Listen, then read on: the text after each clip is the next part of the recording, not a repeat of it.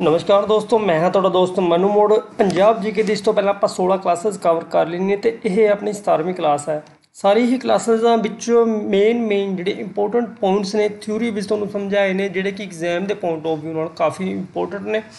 ਪਿਛਲੀ ਕਲਾਸ ਵਿੱਚ ਆਪਾਂ ਨਿਰੰਕਾਰੀ ਅਤੇ ਕੁੱਕਾ ਲਹਿਰ, ਜਿਹੜੀ ਭਗਤੀ ਲਹਿਰ ਅਸੀਂ ਇਹਨਾਂ ਬਾਰੇ ਡਿਸਕਸ ਕੀਤਾ ਸੀ। ਜੇ ਨਹੀਂ ਦੇਖੀ ਤਾਂ ਜਰੂਰ ਦੇਖ ਲਓ, ਕਾਫੀ ਇੰਪੋਰਟੈਂਟ ਕਲਾਸ ਹੈ।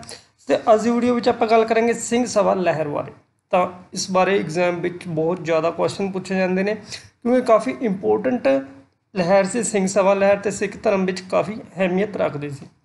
ਤਾਂ ਸਭ ਤੋਂ ਪਹਿਲਾਂ ਗੱਲ ਕਰੀਏ ਸਿੱਖ ਸਭਾ ਲਹਿਰ ਦੀ ਸ਼ੁਰੂਆਤ ਕਦੋਂ ਹੋਈ ਸੀ? ਐਗਜ਼ਾਮ ਵਿੱਚ ਬਹੁਤ ਵਾਰ ਪੁਆਇੰਟ ਆ ਜਾਂਦਾ ਹੈ ਕਿ ਸ਼ੁਰੂਆਤ ਕਦੋਂ ਹੋਈ ਸੀ ਤੇ ਕਿਸ ਨੇ ਕੀਤੀ ਸੀ? ਤਾਂ ਸ਼ੁਰੂਆਤ 30 ਜੁਲਾਈ 1873 ਈਸਵੀ ਵਿੱਚ ਹੋਈ ਸੀ, ਯਾਦ ਰੱਖਿਓ।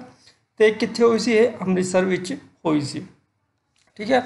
ਇਸ ਦਾ ਮੇਨ ਕੰਮ ਕੀ ਸੀ ਇਸ ਦਾ? ਪੰਜਾਬ ਵਿੱਚ ਉਸ ਟਾਈਮ ਕੀ ਸੀ? ਧਰਮ ਪਰਿਵਰਤਨ ਹੋ ਰਹੇ ਸੀ। ਮਤਲਬ ਕਿ ਜਿਹੜੇ ਸਿੱਖ ਧਰਮ ਦੇ ਲੋਕ ਸੀ, ਉਹ ਈਸਾਈ ਧਰਮ ਵਿੱਚ ਪਰਿਵਰਤਨ ਕਰ ਰਹੇ ਸੀ। ਈਸਾਈ ਧਰਮ ਨੂੰ ਅਪਣਾ ਰਹੇ ਸੀ। ਇਸ ਚੀਜ਼ ਨੂੰ ਰੋਕਣ ਵਾਸਤੇ ਸਿੰਘ ਸਭਾ ਲਹਿਰ ਦੀ ਸਥਾਪਨਾ ਕੀਤੀ ਗਈ। ਠੀਕ ਹੈ? ਇਸ ਦੀ ਪਹਿਲੀ ਬੈਠਕ ਇੱਥੇ ਸਪੈਲਿੰਗ ਮਿਸਟੇਕ ਹੋ ਗਈ। ਬੈਠਕ ਹੈ ਇਹ, ਠੀਕ ਹੈ? ਇਸ ਦੀ ਪਹਿਲੀ ਬੈਠਕ ਕਿੱਥੇ ਹੋਈ ਸੀ? ਐਗਜ਼ਾਮ ਵਿੱਚ ਇਹ ਪੁਆਇੰਟ ਬਹੁਤ ਵਾਰ ਪੁੱਛਿਆ ਗਿਆ ਦੋਸਤੋ, ਕਿ ਸਿੰਘ ਸਭਾ ਦੀ ਪਹਿਲੀ ਬੈਠਕ ਕਿੱਥੇ ਹੋਈ ਸੀ? ਤਾਂ ਇਹ 1 ਅਕਤੂਬਰ 1873 ਵਿੱਚ ਹੋਈ ਸੀ, ਕਿੱਥੇ ਹੋਈ ਸੀ? ਅੰਮ੍ਰਿਤਸਰ ਵਿਖੇ ਹੋਈ ਸੀ। ਤੇ ਇਸ ਦਾ ਜਿਹੜਾ ਕਿ ਪਹਿਲਾ ਚੇਅਰਮੈਨ ਕੌਣ ਸੀ? ਠਾਕੁਰ ਸੰਧਿਆ, ਠਾਕੁਰ ਸਿੰਘ ਸਿੰਧਿਆ ਵਾਲਾ ਇਸ ਦਾ ਪਹਿਲਾ ਜਿਹੜਾ ਚੇਅਰਮੈਨ ਸੀ। ਤੇ ਕਈ ਵਾਰ ਐਗਜ਼ਾਮ ਵਿੱਚ ਪੁੱਛਿਆ ਜਾਂਦਾ ਹੈ ਕਿ ਗਿਆਨ ਸਿੰਘ ਕੌਣ ਸੀ? ਇਸ ਦਾ ਪਹਿਲੇ ਸਕੱਤਰ ਸੀ ਗਿਆਨ ਸਿੰਘ। ਓਕੇ ਦੋਸਤੋ, ਇਹ ਪੁਆਇੰਟ ਯਾਦ ਰੱਖੋ ਐਗਜ਼ਾਮ ਵਿੱਚ ਕਾਫੀ ਵਾਰ ਰਿਪੀਟ ਹੁੰਦੇ ਨੇ ਇਹ। ਇਸ ਤੋਂ ਬਾਅਦ ਗੱਲ ਕਰੀਏ ਨਵੰਬਰ 1879 ਵਿੱਚ ਪ੍ਰੋਫੈਸਰ ਗੁਰਮੁਖ, ਇਹ ਨਾਮ ਹੈ। ਕਾਫੀ ਇੰਪੋਰਟੈਂਟ ਹੈ ਸਿੰਘ ਸਭਾ ਦੇ।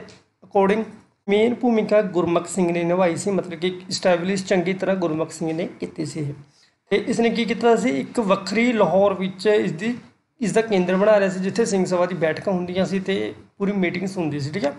ਤੇ 1880 ਈਸਵੀ ਵਿੱਚ ਅੰਮ੍ਰਿਤਸਰ ਸਿੰਘ ਸਭਾ ਦਾ ਮੁੱਖ ਕੇਂਦਰ ਬਣ ਗਿਆ। ਪਹਿਲਾਂ ਤਾਂ ਕੀ ਸੀ? ਲਾਹੌਰ ਮੁੱਖ ਕੇਂਦਰ ਸੀ। ਫਿਰ ਕੀ ਕੀਤਾ? ਲਾਹੌਰ ਦੀ ਜਿਹੜੀ ਸਿੰਘ ਸਭਾ ਦੀ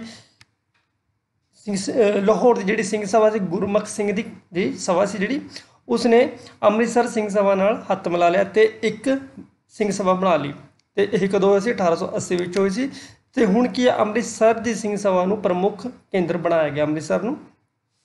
ਤੇ ਇਸ ਦਾ ਨਾਮ ਦਿੱਤਾ ਗਿਆ ਇੱਕ ਨਾਂ ਜਿਸ ਦੇ ਨਾਮ ਨਾਲ ਵੀ ਜਾਣਿਆ ਜਾਂਦਾ, ਸਿੰਘ ਸਭਾ ਨੂੰ ਦੀਵਾਨ ਇਹ ਖਾਲਸਾ ਦੇ ਨਾਮ ਨਾਲ ਜਾਣਿਆ ਜਾਂਦਾ। ਇਹ ਪੁਆਇੰਟ ਐਗਜ਼ਾਮ ਵਿੱਚ ਆਉਂਦਾ ਹੈ ਤੇ ਕਾਫੀ ਵਾਰ ਐਗਜ਼ਾਮ ਵਿੱਚ ਰਿਪੀਟ ਵੀ ਹੋ ਚੁੱਕਾ ਹੈ। ਦੀਵਾਨ ਇਹ ਖਾਲਸਾ ਸਿੰਘ ਸਭਾ ਦਾ ਦੂਸਰਾ ਨਾਮ ਕਿਹਾ ਜਾਂਦਾ ਸੀ। ਤੇ ਸਿੰਘ ਸਭਾ ਦਾ ਮੁੱਖ ਕੰਮ ਕੀ ਸੀ? ਸਿੰਘ ਸਭਾ ਦਾ ਮੁੱਖ ਕੰਮ ਦੀ ਗੱਲ ਕਰੀਏ, ਸਭ ਤੋਂ ਪਹਿਲਾ ਕੰਮ ਸੀ ਸਿੱਖ ਧਰਮ ਦਾ ਪ੍ਰਚਾਰ ਕਰਨਾ। ਜਿਹੜੇ ਵੀ ਸਿੱਖ ਧਰਮ ਨੂੰ ਛੱਡ ਰਹੇ ਸੀ ਤੇ ਈਸਾਈ ਧਰਮ ਵਿੱਚ ਜਾ ਰਹੇ ਸੀ, ਉਹਨਾਂ ਤੇ ਰੋਕ ਟੋਕ ਲਗਾਉਣੀ।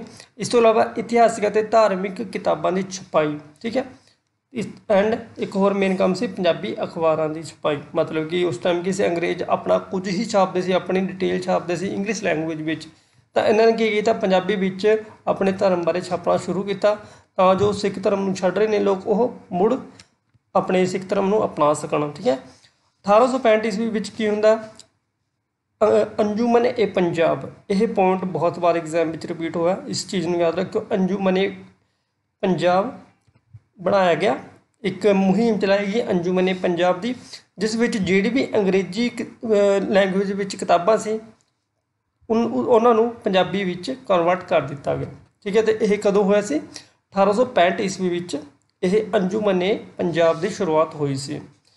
ਤੇ 1892 ਵਿੱਚ ਅੰਮ੍ਰਿਤਸਰ ਖਾਲਸਾ ਕਾਲਜ ਦੀ ਸਥਾਪਨਾ ਕੀਤੀ। ਕਿੰਨਾ ਦੁਆਰਾ ਕੀਤੀ ਗਈ ਸੀ? ਸਿੰਘ ਸਭਾ ਦੁਆਰਾ ਇਹ ਕੀਤੀ ਗਈ ਸੀ। ਐਗਜ਼ਾਮ ਵਿੱਚ ਇਹ ਪੁਆਇੰਟ ਵੀ ਪੁੱਛਿਆ ਜਾਂਦਾ ਹੈ, ਪੰਜਾਬ ਦੀ ਕਿਸੇ ਵੀ ਮੇਨ ਯੂਨੀਵਰਸਿਟੀ ਜਾਂ ਕਾਲਜ ਦੀ ਲੋਕੇਸ਼ਨ ਪੁੱਛ ਲੈਣਗੇ ਤੇ ਕਦੋਂ ਬਣਿਆ ਸੀ? ਇਸ ਤਰ੍ਹਾਂ ਦਾ ਕੁਐਸਚਨ ਪੁੱਛ ਲਿਆ ਜਾਂਦਾ। ਤਾਂ ਇਹ ਯਾਦ ਰੱਖੋ ਅੰਮ੍ਰਿਤਸਰ ਦਾ ਜਿਹੜਾ ਖਾਲਸਾ ਕਾਲਜ ਹੈ, ਇਹ 1892 ਈਸਵੀ ਵਿੱਚ ਬਣਿਆ ਸੀ ਤੇ ਕਿੱਥੇ ਬਣਿਆ ਹੋਇਆ ਇਹ? ਅੰਮ੍ਰਿਤਸਰ ਵਿੱਚ ਬਣਿਆ ਹੋਇਆ ਇਸ ਤੋਂ ਇਲਾਵਾ ਸਿੰਘ ਸਭਾ ਨੇ ਕੀ ਕੀਤਾ ਸੀ? 1909 ਈਸਵੀ ਵਿੱਚ ਸਿੰਘ ਸਭਾ ਨੇ ਆਨੰਦ ਮੈਰਿਜ ਐਕਟ ਪਾਸ ਕੀਤਾ। ਅੰਗਰੇਜ਼ਾਂ ਤੋਂ ਕੀ ਕਰਵਾਇਆ? ਆਨੰਦ ਮੈਰਿਜ ਐਕਟ ਪਾਸ ਕਰਵਾਇਆ, ਜਿਸ ਵਿੱਚ ਹੈ ਕਿ ਜੋ ਵੀ ਸਿੱਖ ਧਰਮ ਦਾ, ਸਿੱਖ ਧਰਮ ਨਾਲ ਰਿਲੇਟਡ ਆ ਉਸ ਦਾ ਸ਼ਾਦੀ ਹੋਵੇਗੀ, ਜਿਹੜੀ ਵਿਆਹ ਹੋਵੇਗਾ ਉਹ ਆਨੰਦ ਮੈਰਿਜ ਐਕਟ ਦੇ ਅਕੋਰਡਿੰਗ ਹੋਵੇਗੀ। ਠੀਕ ਹੈ? ਅਤੇ ਇਸ ਤੋਂ ਬਾਅਦ ਸਿੰਘ ਸਭਾ ਦੁਆਰਾ ਕਾਫੀ ਪੰਜਾਬੀ ਅਤੇ ਅੰਗਰੇਜ਼ੀ ਭਾਸ਼ਾ ਵਿੱਚ ਅਖਬਾਰ ਦੀ ਕਾਢ ਕੱਢੀ ਕੱਢੀ ਗਈ। ਮਤਲਬ ਕਿ ਕਾਫੀ ਨਿਊਜ਼ ਨਿਊਜ਼ਪੇਪਰ ਚਲਾਏ ਗਏ ਤਾਂ ਜੋ ਲੋਕ ਜਾਗਰੂਕ ਹੋ ਸਕਣ। ਇਹ ਕੁਝ ਇੰਪੋਰਟੈਂਟ ਅਖਬਾਰਾਂ ਦੇ ਨਾਮ ਨੇ। ਉਸ ਟਾਈਮ ਜਿਹੜੇ ਚਲਵਾਏ ਸੀ ਸਿੰਘ ਸਭਾ ਨੇ। ਸਭ ਤੋਂ ਪਹਿਲਾਂ ਸੁਖਬੀ ਸੰਬੋਧਨ ਤੇ ਖਾਲਸਾ ਦੀਵਾਨ ਵੱਲੋਂ ਅੰਮ੍ਰਿਤਸਰ ਵੱਲੋਂ ਇਹ ਛਪਵਾਇਆ ਗਿਆ ਸੀ। ਠੀਕ ਹੈ, ਉਸ ਤੋਂ ਬਾਅਦ ਅਕਾਲ ਪ੍ਰਕਾਸ਼, ਪੰਜਾਬ ਦਰਪਣ ਐਗਜ਼ਾਮ ਵਿੱਚ ਇਹ ਪੁਆਇੰਟ ਪੁੱਛੇ ਜਾਂਦੇ ਨੇ। ਕਿਸੇ ਵੀ ਇੱਕ ਅਖਬਾਰ ਦਾ ਨਾਮ ਪੁੱਛ ਲਿਆ ਜਾਵੇਗਾ ਕਿ ਗੁਰਮੁਖੀ ਅਖਬਾਰ ਕਿਸ ਦੁਆਰਾ ਚਲਾਇਆ ਗਿਆ ਸੀ, ਤਾਂ ਖਾਲਸਾ ਦੀਵਾਨ ਮੇਨਲੀ ਜਿਹੜੇ ਅਖਬਾਰ ਸੀ ਫੇਮਸ ਅਖਬਾਰ ਸੀ ਖਾਲਸਾ ਦੀਵਾਨ ਵੱਲੋਂ ਹੀ ਚਲਾਏ ਗਏ ਸੀ ਤੇ ਕਿੱਥੇ ਚਲਾਏ ਗਏ ਸੀ? ਇਹ ਲਾਹੌਰ ਵਿੱਚ ਚਲਾਏ ਗਏ ਸੀ। ਓਕੇ ਇਸੇ ਤਰ੍ਹਾਂ ਪੰਜਾਬ ਦਰਪਣ ਵੀ ਖਾਲਸਾ ਅੰਮ੍ਰਿਤਸਰ ਵੱਲੋਂ ਚਲਾਏ ਗਏ ਸੀ। ਇਸ ਤੋਂ ਇਲਾਵਾ ਪੰਜਾਬ ਪ੍ਰਕਾਸ਼ ਸੌਰੀ ਖਾਲਸਾ ਪ੍ਰਕਾਸ਼ ਤੇ ਗੁਰਦਿੱਤ, ਗੁਰੂ, ਗੁਰਮਤ ਪ੍ਰਕਾਸ਼ ਖਾਲਸਾ ਦੀਵਾਨ ਲਾਹੌਰ ਵੱਲੋਂ ਚਲਾਏ ਗਏ ਸੀ। ਤੇ ਜਿਹੜੇ ਮੇਨ ਨੇ ਉਹ ਤੁਹਾਨੂੰ ਮੈਂ ਦੱਸ ਦਿੰਦਾ ਕਿਹੜੇ ਐਗਜ਼ਾਮ ਵਿੱਚ ਰਿਪੀਟ ਹੋਏ ਨੇ ਤੇ ਪੁੱਛੇ ਵੀ ਗਏ ਨੇ। ਤੇ ਇਹਨਾਂ ਵਿੱਚੋਂ ਸੀ ਇੱਕ ਦੁੱਖ ਨਿਵਾਰਣ ਅੱਛਾ, ਤੁਸੀਂ ਜੇ ਦੇਖ ਸਕਦੇ ਹੋ, ਦੁੱਖ ਨਿਵਾਰਨ ਜਿਹੜਾ ਪੰਜਾਬੀ ਮੈਗਜ਼ੀਨ ਸੀ ਇਹ, ਭਾਈ ਮੋਹਨ ਸਿੰਘ ਵੱਲੋਂ ਚਲਾਈ ਗਈ ਸੀ। ਇਸ ਤੋਂ ਇਲਾਵਾ ਪੰਥ ਪ੍ਰਕਾਸ਼ ਅਤੇ ਤਵਾਰਿਖ ਗੁਰੂ ਖਾਲਸਾ ਗਿਆਨੀ ਗਿਆਨ ਸਿੰਘ ਵੱਲੋਂ ਚਲਾਈ ਗਈ ਸੀ। ਬਸ ਇਹ ਚਾਰ ਪੰਜ ਮੇਨ ਨੇ, ਇਹਨਾਂ ਨੂੰ ਯਾਦ ਕਰ ਲਓ ਐਗਜ਼ਾਮ ਵਿੱਚ ਬਹੁਤ ਵਾਰ ਇਹ ਰਿਪੀਟ ਹੁੰਦੇ ਨੇ। ਔਰ ਮੇਨ ਤੇ ਇੰਪੋਰਟੈਂਟ ਚੀਜ਼ ਦੀ ਅਨਾਉਂਸਮੈਂਟ ਹੋਈ ਸੀ, ਖਾਲਸਾ ਟਰੈਕਟਰ ਸੁਸਾਇਟੀ ਦੀ। ਇਸ ਦੀ ਖੋਜ ਬਾਰੇ ਪੁੱਛਿਆ ਜਾਂਦਾ ਹੈ ਕਿ ਖਾਲਸਾ ਟਰੈਕਟਰ ਸੁਸਾਇਟੀ ਸੀ, ਉਹ ਕਿਸ ਨੇ, ਕਿਸ ਦੁਆਰਾ ਸ਼ੁਰੂ ਕੀਤੀ ਗਈ ਸੀ? ਤਾਂ ਭਾਈ ਕੌਰ ਸਿੰਘ ਤੇ ਭਾਈ ਬੀਰ ਸਿੰਘ ਇਹ ਦੋ ਨਾਮ ਯਾਦ ਰੱਖੋ ਐਗਜ਼ਾਮ ਵਿੱਚ ਪੁੱਛੇ ਜਾਂਦੇ ਨੇ। ਇਸ ਦਾ ਕੰਮ ਕੀ ਸੀ? ਅਖਬਾਰਾਂ ਵਿੱਚ ਕੀ ਹੈ? ਮਟੀਰੀਅਲ ਦਿੰਦੇ ਸੀ ਸਿੱਖ ਧਰਮ ਦਾ ਪ੍ਰਚਾਰ ਲਿਖਣ ਵਾਸਤੇ ਇਹ ਮਟੀਰੀਅਲ ਕਲੈਕਟ ਕਰਦੇ ਸੀ ਤੇ ਅਖਬਾਰਾਂ ਵਿੱਚ ਇਨਕਲੂਡ ਕਰਵਾਉਂਦੇ ਸੀ ਠੀਕ ਹੈ? ਇਸ ਤੋਂ ਬਾਅਦ ਕੀ ਹੋਇਆ? 1914 ਈਸਵੀ ਵਿੱਚ ਰਾਜਨੀਤਿਕ ਰਾਜਨੀਤਿਕ ਕਾਰਨ ਮਤਲਬ ਕਿ ਇਹ ਸਿੰਘ ਸਭਾ ਸੀ ਇਸ ਤੋਂ ਬਾਅਦ ਕੀ ਅ, ਸਿੱਖ ਸਿੱਖ ਲੀਗ ਸਿੱਖ ਕੀ ਜਸਟਿਸ ਆਈ ਥਿੰਕ ਇਸ ਤਰ੍ਹਾਂ ਦਾ ਕੁਝ ਨਾਮ ਸੀ ਲੀਗ। ਸਿੱਖ ਲੀਗ ਵਿੱਚ ਕਨਵਰਟ ਹੋ ਗਈ। ਠੀਕ ਹੈ 1914 ਈਸਵੀ ਵਿੱਚ ਜਿਹੜੀ ਸਿੰਘ ਸਭਾ ਸੀ, ਸਿੱਖ ਲੀਗ ਵਿੱਚ ਕਨਵਰਟ ਹੋ ਗਈ ਤੇ ਇਹ ਕੀ ਹੋ ਗਿਆ? ਰਾਜਨੀਤੀ ਵਿੱਚ ਇੰਟਰਸਟ ਦੇਣ ਲੱਗ ਗਈ ਇਸ ਤੋਂ ਬਾਅਦ ਇਹ ਇਹਨਾਂ ਦੀ ਲੋਕਪ੍ਰਿਯਤਾ ਘਟਦੀ ਗਈ, ਜਿਵੇਂ ਹੀ ਰਾਜਨੀਤੀ ਵਿੱਚ ਇਨਕਲੂਡ ਹੋਏ ਇਹ, ਘਟਦੀ ਗਈ ਤੇ ਇਹਨਾਂ ਹੀ ਦਿਨਾਂ ਵਿੱਚ ਇੱਕ ਕਾਂਡ ਹੋਇਆ ਸੀ। ਤੁਹਾਨੂੰ ਇਸ ਬਾਰੇ ਕਾਫੀ ਨਾਮ ਸੁਣਿਆ ਹੋਵੇਗਾ। 1914 ਈਸਵੀ ਵਿੱਚ ਕਿਹੜਾ ਹੋਇਆ ਸੀ? ਕਾਮਾ ਗਾਟਾ ਮਾਰੂ ਦੁਖਾਂਤ ਵਾਪਰਿਆ ਸੀ। ਯਾਦ ਰੱਖੋ ਐਗਜ਼ਾਮ ਵਿੱਚ ਇਹ ਪੁਆਇੰਟ ਪੁੱਛਿਆ ਜਾਂਦਾ ਹੈ ਕਿ ਕਾਮਾ ਗਾਟਾ ਮਾਰੂ ਦੁਖਾਂਤ ਇਹ ਕਦੋਂ ਹੋਇਆ ਸੀ ਤਾਂ 1914 ਈਸਵੀ ਵਿੱਚ ਹੋਈ। ਚਲੋ, ਇਸ ਬਾਰੇ ਆਪਾਂ ਥੋੜਾ ਬਰੀਫਲੀ ਡਿਸਕਸ ਕਰ ਲੈਂਦੇ ਆ ਐਂਡ ਦੋਸਤੋ, ਜੇ ਹਾਲੇ ਤੱਕ ਸਾਡਾ WhatsApp ਗਰੁੱਪ ਜੁਆਇਨ ਨਹੀਂ ਕੀਤਾ, ਤਾਂ ਲਿੰਕ ਵੀਡੀਓ ਦੇ ਡਿਸਕ੍ਰਿਪਸ਼ਨ ਵਿੱਚ ਮੈਂ ਦੇ ਦਿੱਤਾ, ਉੱਥੇ ਜਾ ਕੇ WhatsApp ਗਰੁੱਪ ਵੀ ਜੁਆਇਨ ਕਰ ਲਓ। ਐਂਡ ਜੇ ਤੁਹਾਨੂੰ ਵੀਡੀਓ ਬੈਨੀਫੀਸ਼ੀਅਲ ਲੱਗੀ, ਤਾਂ ਪਲੀਜ਼ ਵੀਡੀਓ ਨੂੰ ਲਾਈਕ ਤੇ ਇੱਕ ਪਿਆਰਾ ਜਿਹਾ ਕਮੈਂਟ ਜ਼ਰੂਰ ਕਰ ਦਿਓ। ਠੀਕ ਹੈ ਕਾਮਾਗਾਟਾ ਮਾਰੂ ਦੁਖਾਂਤ ਦੇ ਬਾਰੇ ਆਪਾਂ ਥੋੜਾ ਬਰੀਫਲੀ ਜਾਣ ਲੈਂਦੇ ਹਾਂ। ਇਹ ਇੱਕ ਜਾਪਾਨੀ ਜਹਾਜ਼ ਸੀ ਐਗਜ਼ਾਮ ਬਣ ਐਗਜ਼ਾਮ ਵਿੱਚ ਪੁਆਇੰਟ ਬਣ ਸਕਦਾ ਹੈ ਕਿ ਕਾਮਾਗਾਟਾ ਮਾਰੂ ਕੀ ਚੀਜ਼ ਸੀ ਇਹ? ਇਹ ਇੱਕ ਸਮੁੰਦਰੀ ਜਹਾਜ਼ ਸੀ ਤੇ ਕਿੱਥੋਂ ਦਾ ਸੀ ਇਹ ਜਾਪਾਨੀ ਇੱਕ ਸਮੁੰਦਰੀ ਜਹਾਜ਼ ਸੀ ਇਸ ਦਾ ਨਾਮ ਬਦਲ ਕੇ ਕੀ ਰੱਖਿਆ ਗਿਆ ਸੀ ਗੁਰੂ ਕਾ ਜਹਾਜ਼ ਰੱਖਿਆ ਗਿਆ ਸੀ ਐਗਜ਼ਾਮ ਵਿੱਚ ਇਹ ਪੁਆਇੰਟ ਬਹੁਤ ਵਾਰ ਰਿਪੀਟ ਹੋ ਚੁੱਕਾ ਹੈ ਕਿ ਕਾਮਾਗਾਟਾ ਮਾਰੂ ਜਹਾਜ਼ ਦਾ ਨਾਮ ਬਦਲ ਕੇ ਕੀ ਰੱਖਿਆ ਗਿਆ ਸੀ ਤਾਂ ਗੁਰੂ ਕਾ ਜਹਾਜ਼ ਰੱਖਿਆ ਗਿਆ ਸੀ 1914 ਈਸਵੀ ਵਿੱਚ ਗੁਰਦਿੱਤ ਨਾਮਕ ਵਿਅਕਤੀ ਸੀ ਕੋਈ ਗੁਰਦਿੱਤ ਨਾਮਕ ਵਿਅਕਤੀ ਸੀ ਉਸਨੇ ਕਿਰਾਏ ਤੇ ਲੈ ਲਿਆ ਬਈ ਠੀਕ ਹੈ ਤੇ 4 ਅਪ੍ਰੈਲ 1914 ਈਸਵੀ ਨੂੰ ਇਹ ਜਹਾਜ਼ ਹਾਂਗਕਾਂਗ ਤੋਂ ਚੱਲ ਕੇ ਕੈਨੇਡਾ ਗਿਆ ਇਹ ਕਿਉਂ ਗਿਆ ਸੀ? ਕਿਉਂਕਿ ਜਿਹੜੇ ਹਾਂਗਕਾਂਗ ਵਿੱਚ ਜਾਂ ਫੋਰਨ ਵਿੱਚ ਪੰਜਾਬੀ ਜਾਂ ਸਿੱਖ ਧਰਮ ਦੇ ਰਹਿ ਰਹੇ ਸੀ, ਉਹਨਾਂ ਨਾਲ ਚੰਗਾ ਵਿਵਹਾਰ ਨਹੀਂ ਕੀਤਾ ਜਾਂਦਾ ਸੀ ਉੱਥੇ। ਤਾਂ ਕਰਕੇ ਉਹ ਥਾਂ ਛੱਡ ਕੇ ਉਹ ਹੋਰ ਪਾਸੇ ਜਾਣਾ ਚਾਹੁੰਦੇ ਸੀ ਉਹ। ਤਾਂ ਕਰਕੇ ਇਹ ਜਹਾਜ਼ ਕਿਰਾਏ ਤੇ ਲਿੱਤਾ ਗਿਆ ਤੇ ਉਹ ਜਿਹੜੇ ਵੀ ਸਿੱਖ ਸੀ, ਉਹਨਾਂ ਨੂੰ ਜਹਾਜ਼ ਵਿੱਚ ਬਿਠਾਇਆ ਗਿਆ। ਤੇ ਉਹ ਜਹਾਜ਼ ਪਹਿਲਾਂ ਤਾਂ ਕੈਨੇਡਾ ਗਿਆ ਹਾਂਗਕਾਂਗ ਤੋਂ ਕੈਨੇਡਾ ਗਿਆ, ਪਰ ਉੱਥੇ ਕੈਨੇਡਾ ਦੀ ਸਰਕਾਰ ਨੇ ਕਹਿ ਦਿੱਤਾ ਕਿ ਇੱਥੇ ਅਸੀਂ ਰੁਕਣ ਨਹੀਂ ਦੇਵਾਂਗੇ ਜਹਾਜ਼।